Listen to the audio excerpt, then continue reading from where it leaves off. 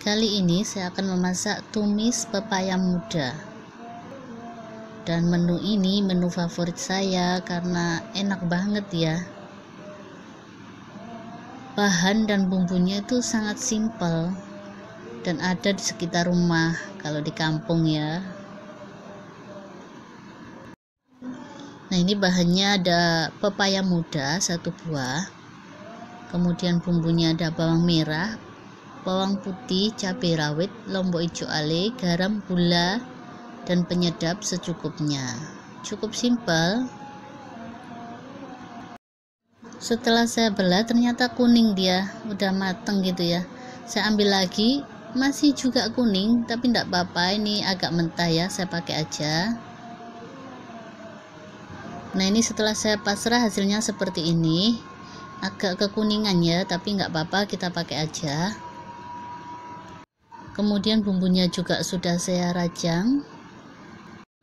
Seperti biasa kita tumis bawang putihnya dulu sampai harum.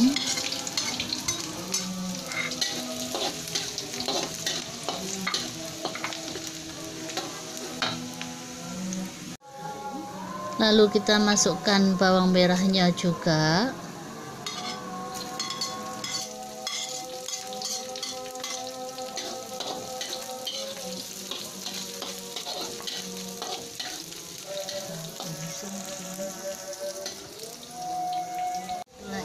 lalu kita masukkan lombok hijau ale dan cabai rawitnya.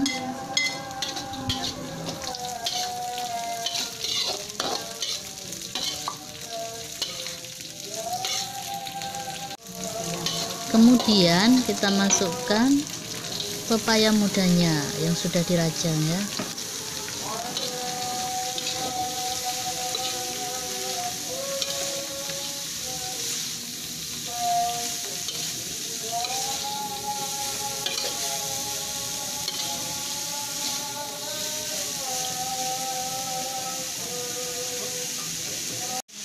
boleh kita tambahkan sedikit air supaya tidak terlalu kering ya.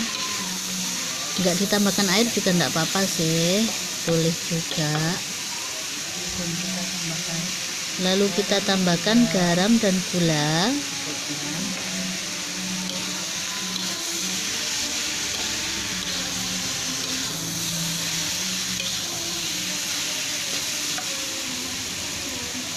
Dan kemudian kita tambahkan penyedap secukupnya.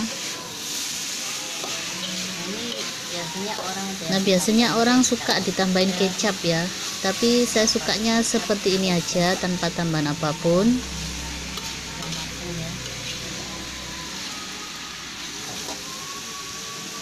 Kita bisa tes rasa. Bismillahirrahmanirrahim. Hmm enak banget ini ya. Pedas